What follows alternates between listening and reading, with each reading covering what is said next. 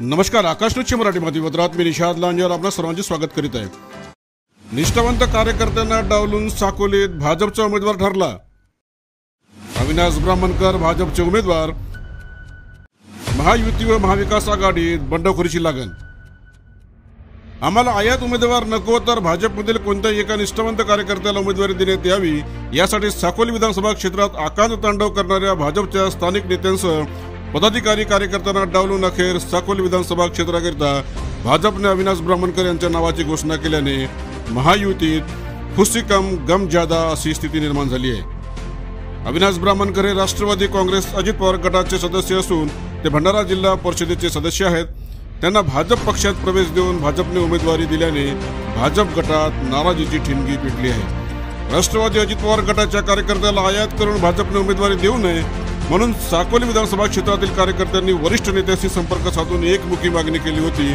मात्र राष्ट्रवादी काँग्रेसचे वरिष्ठ नेते खासदार प्रफुल्ल पटेल यांनी दिल्लीतील नेत्याशी केलेल्या वाटाघाटीनुसार शेवटी अविनाश ब्राह्मणकर यांना भाजपने उमेदवारी दिली आहे.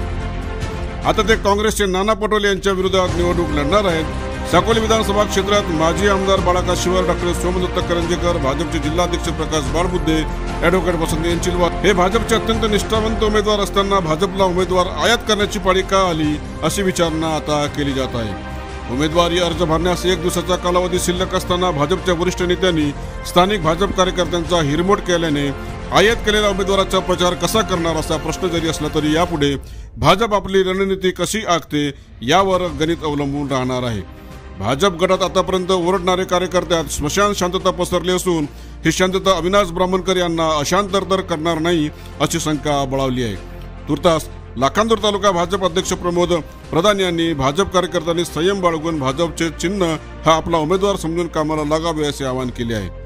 आजच भारतीय जनता पार्टीचा साकोली विधानसभेचा उमेदवार आमचे नेते अविनाशभाऊ ब्राह्मणकर यांना उमेदवारी जाहीर करण्यात आली. भारतीय जनता पार्टी ही विचारधारेची पार्टी आहे. आणि विचारधारेच्या पार्टीमध्ये फक्त स्टेशनचा नियम म्हणजे निर्णय जो असतो तो अंतिम असतो. आणि प्रत्येक भारतीय जनता पार्टीचा कार्यकर्ता हा वरिष्ठांचे आदेश फॉलो करतो. शिस्त संयम असणारी ही पार्टी आहे. कार्यकर्त्यामध्ये एक आज संपूर्ण महाराष्ट्रामध्ये महायुतीचं सरकार कसं येईल?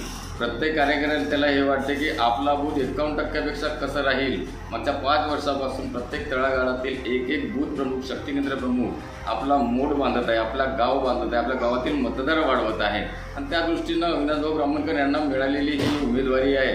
नक्कीच सार्थक लागेल आणि प्रत्येक कार्यकर्ता आपला बूथ एकावन्न टक्क्यापेक्षा जास्त कसं राहील यासाठी नक्कीच प्रयत्न करेल. हेवे दावे आता बाजूला सोडून प्रत्येक कार्यकर्ता अविनाश ब्राह्मण भाऊ ब्राह्मणकर यांना कसं निवडून त्या पद्धतीनं आता नियोजन करत आहे.